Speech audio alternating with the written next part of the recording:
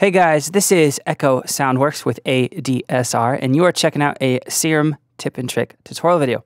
In this video, we're going to be focusing on one of the features, newer features that was released that was released in the last few months. It's a really interesting one in Serum, and it's importing pictures as wavetables. And this is actually one of the easiest ways to create really in-depth wavetables that have a lot of change between them. So we're going to check that out. So it's really easy to do. And then I'm going to fit in a, another little tip and trick here that was recently added to Serum. So Serum updates so freaking much. It's hard to keep up with.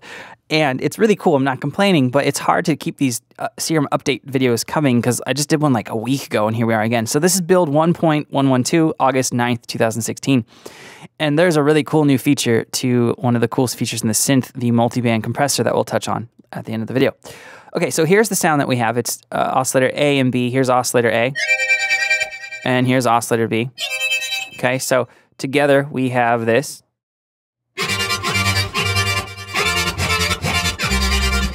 All right, so pull, let's pull in a picture. I have a picture of Homer Simpson, because why not? And you want it to be a .png file. That's the only way this works. So we're going to pull this into oscillator A. And you'll see it'll pix, uh, the pixel luminance maps to amplitude. Okay, so you can actually see Homer's face in there, which is pretty cool. And now when we scan through the wavetable position, we have a pretty cool looking waveform. And you can go into your wavetable editor here and you can actually process and morph. So let's uh, select all the different wavetables. Let's just highlight all these by shifting, hitting shift click. And we're gonna go morph and we'll do, uh, let's do spectral crossfade just to tighten things up. And you can even process this. You could do, let's do, uh, let's do another one. Let's create pulse width modulation from this table to all and see what happens. All right, so we've changed it quite a bit. Now, if we go back, right, we don't have Homer Simpson anymore, but we do have a wavetable.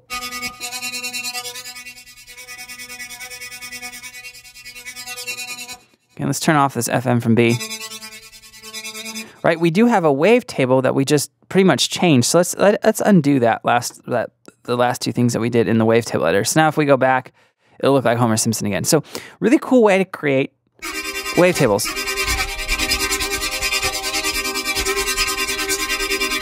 Let's bring in oscillator B again.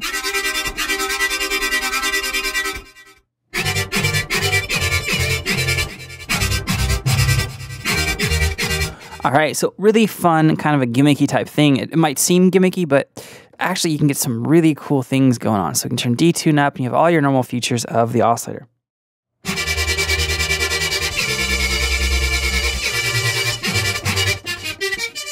All right, now let's look at one other thing. I'm going to kind of bundle this into a tip and trick. Let's go to the compressor and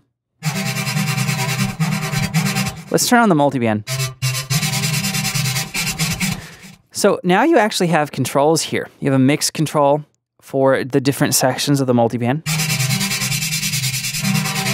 Which can really, because the multiband compressor, it really took out a lot of the lows in a lot of the sounds. It kind of made it sound super glassy and shiny. Well, now you can actually keep in some of the lows. So let's turn down this one. Here's the low, right?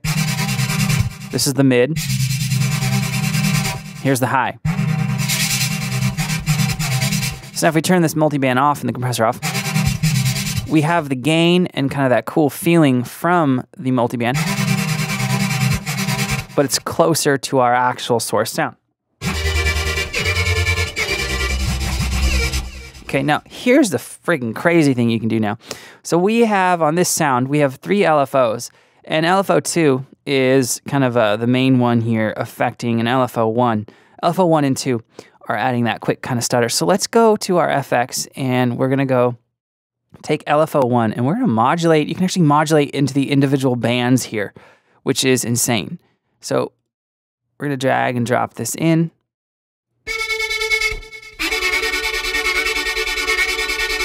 We go to our matrix here. See, LFO1, uh, multi-band compression. So let's turn that up. So you, you can do that with any of the modulation points. You can do envelope, you can do anything and it's insanely cool. So there you guys go. A couple cool tips and tricks with Serum that you maybe didn't know about.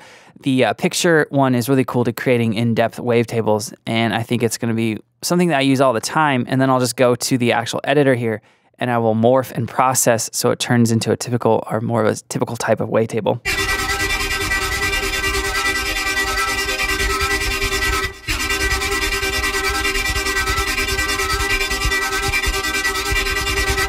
So you can see that they're a little bit dirty, um, and they're a little they they do need cleaning up. So what I'm going to do here is let's actually just delete some of these.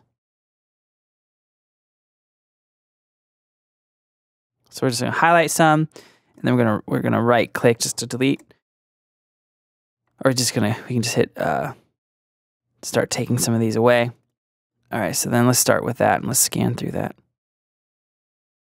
Yeah, that seems a little bit better. So just clean up some of this. The picture's going to change, obviously, here. So now that's some cool movement again. And then using something like one of these uh, FM from A using a picture one's kind of crazy.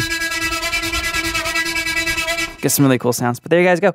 If you have any questions or comments, let me know below and I'll get back to you as soon as I can. Like I said at the beginning of the video, I am Echo Sound Works. Thank you so much for checking this video out. I'll see you next time.